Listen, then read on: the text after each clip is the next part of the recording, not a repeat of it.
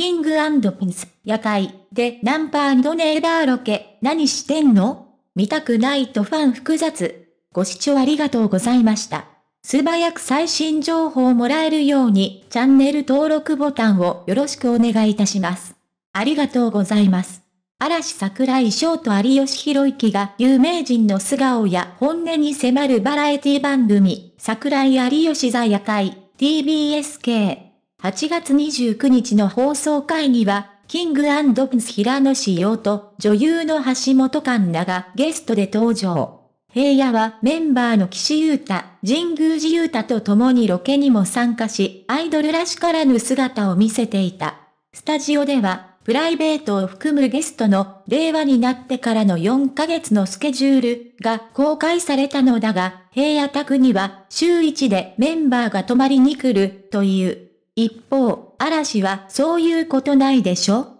と有吉に聞かれた桜井はデビュー当時は、確かあったはあったと、返答。その頃まだ千葉県に住んでいたという相葉正樹は、仕事の後終電がなくなると、桜井の実家に泊まっていたと振り返った。一方キングプスはデビュー1周年の5月23日にメンバーだけで焼肉を食べに行ったそう。グループのルールとしてメンバー同士で食事に行った際のお会計は男気じゃんけんで決めるという。ちなみにほとんど騎士が負けるとのことだった。また、番組後半は平野、騎士、神宮寺による、キングプンス初めての〇〇というロケ企画が行われ、それぞれアイドルゆえにできなかったことを体験。まず神宮寺は、ジャニーズファンの聖地でもある、東京原宿のジャニーズショップに潜入。カツラ、メガネ、キャップでスタッフに変装しつつバレちゃうかもしれない。とかなり心配していたが、後輩グループのファンから、ヒヒージェツへのコーナー、どこですか？と聞かれるなどかなり溶け込んでいる様子。その後もスタッフ役に通し、最後までファンに気がつかれない神宮寺であった。一方、英語を勉強中だという騎士は、実際に外国人と喋って友達になりたい、とリクエスト。そこで、外国人が集まるカフェを訪れたのだが、神宮寺の提案で、最終目標は、女性と連絡先を交換することに決定し、初ナンパにも挑戦することに。途中、騎士は自分のことをコメディアンだと紹介し、なぜかグからチョキ、パからで、グからチョキ、パからで何作ろから音符、と歌い出す瞑想シーンも。しかし、騎士は流暢な英語と持ち前のコミュニケーションスキルで、ぐいぐいと女性に迫り、無事に連絡先をゲットしていた。